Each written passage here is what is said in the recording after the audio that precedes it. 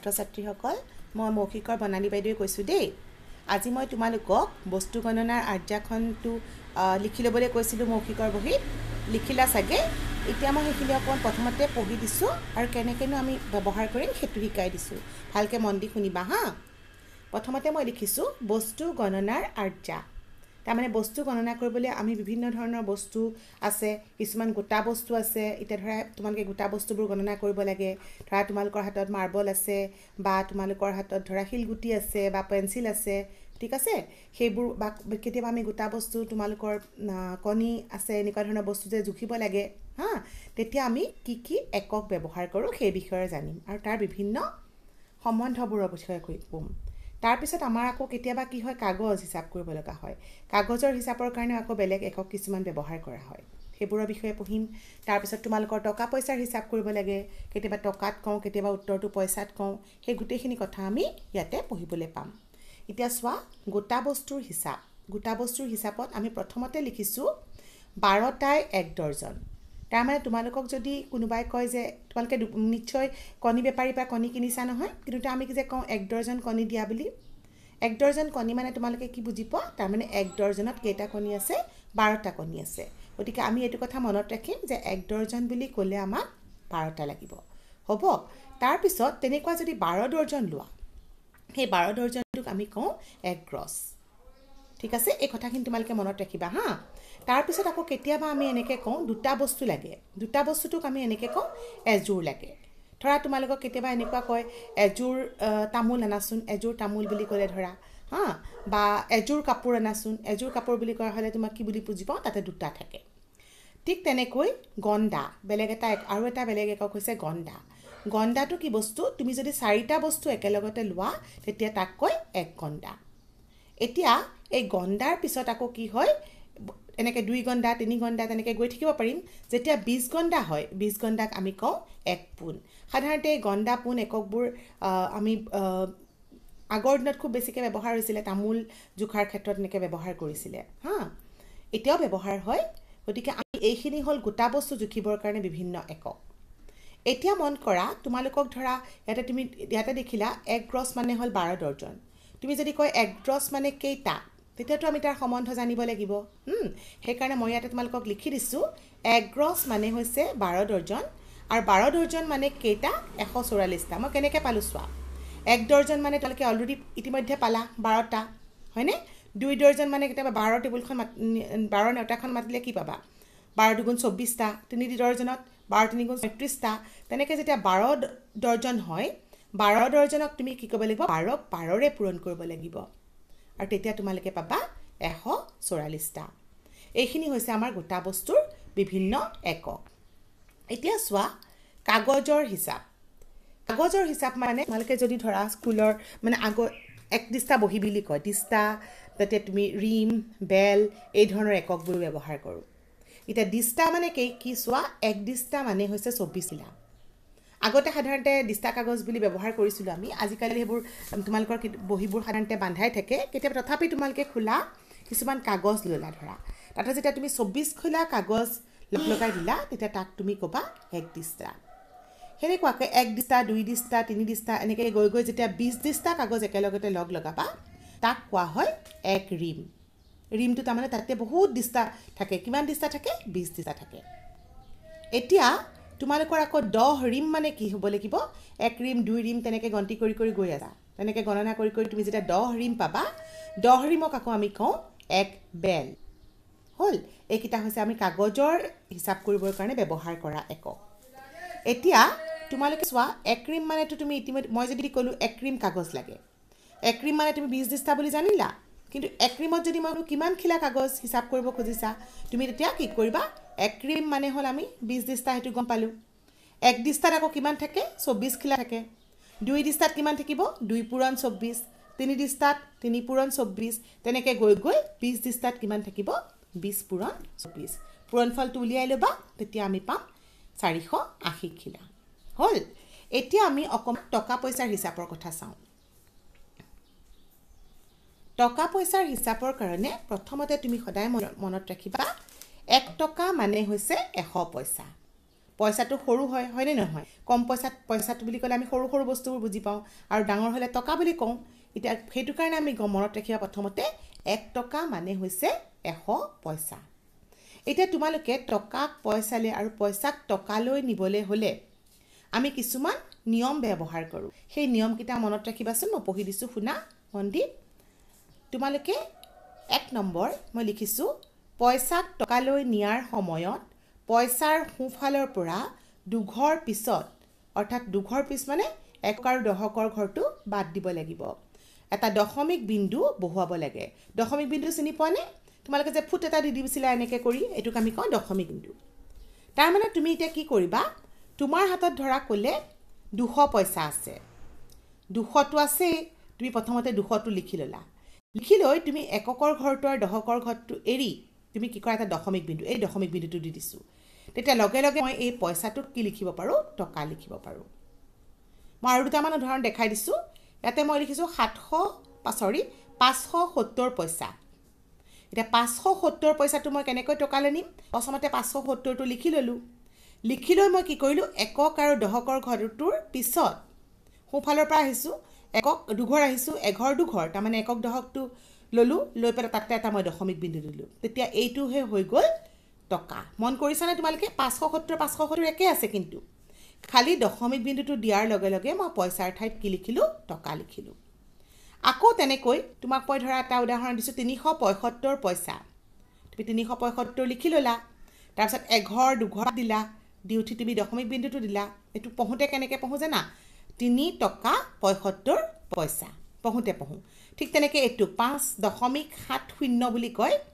তাক আমি পঢ়োঁতে পঢ়োঁ পাঁচ টকা সত্তৰ পইচা। লিখোঁতে কিন্তু এইটো এজ এ একে একেলগে তুমি টকা বুলি লিখিবা। আৰু কেইটামান চোৱা। কেতিয়াবা সৰু সৰু পইচা থাকে। ধৰা তোমাৰ হাতত অকল পঁচিছ পইচা আছে। এতিয়া পঁচিছ পইচাত যেতিয়া টকাত নিব লগা হ'ল তুমি কি কৰিবা? অকল দুটাই অংক আছে। ইয়াতে এটা অংক দুটা অংক আছে। তুমি প্ৰথমতে পঁচিছটোৱে লিখি ল'লা। তাৰপিছত এঘৰ দুঘৰ বাদ দিলা দশমিক বিন্দুটো শূন্য এইটো লিখি দিলোঁ। কিন্তু আমি কি কৰোঁ দশমিক বিন্দুৰ আগত সাধাৰণতে আমি এটা শূন্য বহাই দিওঁ যদি তাতে বেলেগ সংখ্যা নাথাকে। আৰু এইটো পঢ়োঁতে কিমান বুলি পঢ়িম? দশমিক দুই পাঁচ বুলি পঢ়োঁ আৰু কওঁতে কওঁ পঁচিছ পইচা। কিন্তু লিখোঁতে দশমিক দুই পাঁচ টকা বুলি লিখিব লাগিব। তেনেকৈ সাত পইচা। এতিয়াতো অকল এটাহে আছে সাতটো আছে। হয়নে? কিন্তু আমাকতো টকা কৰিব লাগিলে দুঘৰ লাগিব। গতিকে দুঘৰ হ'লে কি ক'বা তুমি সাতটো লিখিলা সাতৰ আগত যদি এটা শূন্য দি দিয়া তাৰমানেতো সাতটো সলনি নহয়। পিছত শূন্য নিদিবা কিন্তু। পিছত শূন্য দি দিয়াৰ লগে লগে সাতটো কি হৈ যাব? সত্তৰ হৈ যাব। কিন্তু আগত যেতিয়া শূন্য এটা দি দিয়া তেতিয়া সাতটো সাতেই থাকি যাব। আৰু তেতিয়া আমি এইদৰে চোৱা সাতৰ আগত মই এটা শূন্য দিলোঁ। তেতিয়া মই কি কৰিব পাৰিম? এতিয়া মই এঘৰ দুঘৰ পাই গ'লোঁ আৰু দশমিক বিন্দুটো বহুৱাব পাৰিলোঁ। আকৌ মই তোমালোকক এইটোত কোৱাৰ দৰে কি কৰিলোঁ? আগত শূন্য লিখি দিলোঁ। আৰু এইটোক কেনেকৈ পঢ়িম আমি সাত পইচাটোক আমি কেনেকৈ কৰিম? দশমিক শূন্য সাত টকা। এতিয়া কেনেকৈ তোমালোকক পইচালৈ পইচা দিয়া থাকিলে টকালৈ নিব লাগে বুজি পালা চাগে? হা মন দি দৰকাৰ হ'লে এবাৰ নহয় বুজি যদি নোপোৱা দুবাৰমান কথাখিনি শুনি ল'বা। দেই এতিয়া মই তোমালোকক ওলোটাটো কৈছোঁ। তাৰমানে ওলোটাটো মানে কি? মই এতিয়া এক মিনিট ৰ'বা দেই। অঁ জাষ্ট মিনিট এতিয়া মই কেনেকৈ টকাক পইচালৈ নিয়াৰ সময়ত কি কৰিব লাগে কৈছোঁ? শুনা মন্দি টকাক পইচালৈ নিয়াৰ সময়ত টকাৰ সোঁফালে দুটা শূন্য বহুৱাই দিব লাগে। উদাহৰণ কেইটামান দি দিছোঁ কি কৰিম? একদম সহজ। তুমি টকাটো লিখিলা তোমাৰ হাতত ধৰা দুই টকা আছে। তুমি দুইটো লিখিলা যদি তাক পইচালৈ নিব লগা হয় তুমি কি কৰিবা? সোঁহাতে দুটা শূন্য লগাই দিবা। তাৰমানে দুশ পইচা হৈ যাব। এতিয়া চোৱাচোন মই উদাহৰণত লিখিছোঁ কেনেকৈ। ইয়াতে চোৱা। তোমালোকক দিলোঁ মই পাঁচ টকা। পাঁচ টকাটো পাঁচটো লিখিলোঁ আৰু সোঁহাতে মই দুটা শূন্য লগাই দিলোঁ। কিমান হৈ গ'ল? পাঁচশ পইচা। দহ টকা আছে। দহটো লিখিলোঁ এটা দুটা শূন্য লগাই দিলোঁ। হৈ গ'ল এহেজাৰ পইচা। একক দহক শতক হাজাৰ হৈছে। হ'ল মই তুমি সংখ্যাটো লিখি ল'বা তাৰপিছত দুটা শূন্য লিখি দিবা। ইয়াতে আছে এশ সোতৰ টকা। এশ সোতৰটো লিখিলোঁ দুটা শূন্য লগাই দিলোঁ। হ'ল তোমালোকৰ কিমান পালা? এঘাৰ হাজাৰ সাতশ পইচা পালা। একেধৰণে ধৰা তোমাৰ পাঁচশ সত্তৰ টকা আছিলে। তুমি পইচালৈ লিখিলে কি কিবা প্ৰথমতে পাঁচশ সত্তৰ লিখি ল'লা এইটো পাঁচশ সত্তৰ দুটা শূন্য লগাই দিলে পইচা হৈ গ'ল। মনত ৰাখিবা হা কথাখিনি। এতিয়া তোমালোকক মই অকণমান আগতে কোৱা দৰ্জন বা ডিষ্টা এইবোৰৰ মাজত কেনেকৈনো অংকবোৰ থাকে মই তোমালোকক সেইকেইটা কেইটামান প্ৰশ্নত দেখাই দিছোঁ। এই যে মই তলত আস্তানি দিছোঁ এইবোৰ তাৰমানে এইটো থাকিলে এইটো উত্তৰ উলিয়াব লাগে সেইটো বুজাইছোঁ। এতিয়া তোমালোকে চোৱা তোমালোকে এইটো দৰ্জন আছে কেইটা সুধিছে। চাই ল'বা দেই দৰ্জনৰ পৰা টা আনিব লাগে। তোমালোকৰ সম্বন্ধটো কি আছিলে? এক দৰ্জন মানে বাৰটা হয়নে? গতিকে দুই দৰ্জন মানে বেছি হ'ব। গতিকে দুই দৰ্জন মানে কি হ'ব লাগিব? বাৰ দুইৰে পূৰণ কৰি দিবা। কিমান পাবা? বাৰ দুগুণ চৌব্বিছটা পালা। নেক্সট মই লিখিছোঁ তিনি দৰ্জন তিনি দৰ্জন মানে আকৌ কেইটা হ'ব? প্ৰথম কিন্তু তুমি এক দৰ্জনৰ পৰা যাবা দেই। এক দৰ্জন মানে হ'ল বাৰটা। তেনে দুই দৰ্জন কৰিলে আমি কি কৰিছিলোঁ? দুই পূৰণ বাৰটা। তিনি দৰ্জন হ'লে কি হ'ব? তিনি পূৰণ বাৰ। তাৰমানে তিনি বাৰ বাৰ তিনি গুণ কিমান? ছয়ত্ৰিছটা পাই গ'লোঁ। তেনেকৈ যদি তোমাক পাঁচ দৰ্জন কয় পাঁচ দৰ্জন কৰিলে কি কিহেৰে পূৰণ কৰিম আমি? পাঁচেৰে পূৰণ কৰিম বাৰক এতিয়া পাঁচেৰে বাৰক পূৰণ কৰিলে কি পাবা? বাৰ পাঁচ গুণ ষাঠিটা। হ'ল। এইবাৰ মই উল্টাটো কৈছোঁ। আঠচল্লিছটা আছে। তুমি দৰ্জন নিব লাগে। উত্তৰটো তুমি সৰু পাবা। হয়নে? উত্তৰটো যদি সৰু পায় আমি কি কৰিব লাগিব? হৰণ কৰিব লাগিব। এতিয়ানো কেনেকৈ হৰণ কৰিম চোৱা? তুমি জানা যে বাৰটা মানে এক দৰ্জন হয়নে? তাৰমানে চৌব্বিছটা যদি হয় আমি বাৰৰে হৰণ কৰিলে কি পাম? চৌব্বিছক বাৰৰে হৰণ কৰি দিয়া কি পাবা? দুই পাবা। তেনেকৈ তুমি বা বাৰৰ ভাগৰ নেওতাখন মাতা তেনেকৈও কৰিব পাৰা নেওতা মাতিও কৰিব পাৰা। বাৰ এগুণ বাৰ বাৰ দুগুণ চৌব্বিছ বাৰ তিনি গুণ ছয়ত্ৰিছ বাৰ চাৰি গুণ আঠচল্লিছ কিহৰে কৰোঁতে আমি চাৰি আঠচল্লিছ পালোঁ? চাৰিৰে কৰোঁতে। তাৰমানে আমি পালোঁ চাৰি দৰ্জন আঠ আঠচল্লিছটা মানে হ'ল চাৰি দৰ্জন হ'ল? দৰ্জনক কেনেকৈ তালৈ বা তাক কেনেকৈ দৰ্জনলৈ কৰিব লাগে গম পাইছা? তোমালোকে নিজে নিজে আৰু দুটামান কৰি চাবা হা। ঠিক আছে। মা দেউতাহঁতক কৈ দিবা তোমালোকক সুধি দিব তোমালোকে কৰিব পাৰিবা। এতিয়া মই ডিষ্টাৰ কথা কৈছোঁ। কিন্তু মই তোমালোকক দিয়া প্ৰথম বস্তুৰ যিখন গণনাৰ আজ্ঞাবোৰ দিছিলোঁ তাৰ সম্বন্ধবোৰ ধুনীয়াকৈ মনত ৰাখি ল'বা তেতিয়াহে তুমি অংকবোৰ বুজি পাবা ভালকৈ। এতিয়া আমি এক দৰ এক দিষ্টা মানে কেইখিলা পাইছিলোঁ? মনত আছেনে? এক খিলা মানে এক দিষ্টা মানে আমি পাইছিলোঁ চৌব্বিছ খিলা। গতিকে দুই দিষ্টা মানে কি কৰিম? দুইৰে পূৰণ কৰিম। দুই পূৰণ চৌব্বিছ কৰিলে কৰি চাব লাগিলে।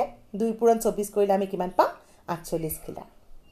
তেনেকৈ যদি তিনি দিষ্টা দিয়া থাকে এইটো দটো নাহিল হা দটো লিখি ল'বা। তিনি দিষ্টা দিয়া থাকে এতিয়া তিনি দিষ্টাত আমি কিমান পাম? চৌব্বিছেৰে পূৰণ কৰিম এবাৰ তিনি। পূৰণটো কৰি চাবা চৌব্বিছ ওপৰত লিখিবা তিনি তলত লিখিবা। পূৰণটো কৰিব জানাই তোমালোকে হয়নে? তো চৌব্বিছেৰে পূৰণ কৰিলে আমি কি পাম? বাসত্তৰ খিলা পাম। এই দুটা মই দিছোঁ আকৌ ৰিম আৰু দিষ্টাৰ মাজত সম্বন্ধ। তাৰমানে দুই ৰিম দিয়া আছে কেই দিষ্টা ওলাব লাগে। একৰ পৰা জানিবা কিন্তু ৰিম আৰু দিষ্টাৰ মাজৰ সম্বন্ধটো চোৱা এবাৰ। কিমান আছিলে? এক ৰিম মানে হ'ল বিছ দিষ্টা। দুই ৰিম মানে কিমান হ'ব? দুই পূৰণ বিছ দুই পূৰণ বিছ হ'লে কিমান পাম? চল্লিছ দিষ্টা। তেনেকৈ পাঁচ ৰিম মানে কিমান হ'ব? পাঁচ পূৰণ বিছ। পূৰণবোৰ দৰকাৰ হ'লে কৰি চাবা মুখে মুখে পাৰিলে মুখে মুখে কৰিবা। বিছৰ ভাগৰ নেওতা যদি মুখস্থ আছেই তেনেহ'লে বিছক পাঁচ গুণ বিছ পাঁচ গুণ কিমান কৈ দিয়া? বিছ এগুণ বিছ মাতা বিছ দুগুণ চল্লিছ বিছ তিনি গুণ ষাঠি বিছ চাৰি গুণ আশী বিছ পাঁচ গুণ কিমান? এশ তাৰমানে এশ দিষ্টা হৈ গ'ল।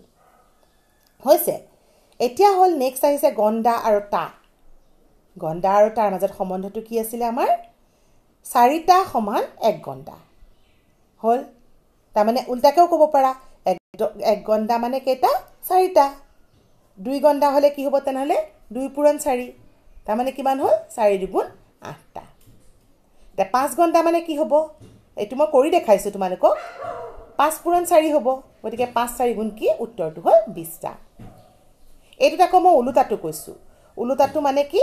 তা থাকিলে কেনেকৈ গণ্ডাল আনিবা এইবাৰ দিয়া আছে কিন্তু নিয়মটো একেটাই। মানে সম্বন্ধটো একেটাই। কি হ'ল? চাৰিটা মানে এক ঘণ্টা। ওল্টাকৈ ভাবিলোঁ এবাৰ। তেনেহ'লে তুমি চাৰি ভাগৰ নেওতাখন মাতি যোৱা।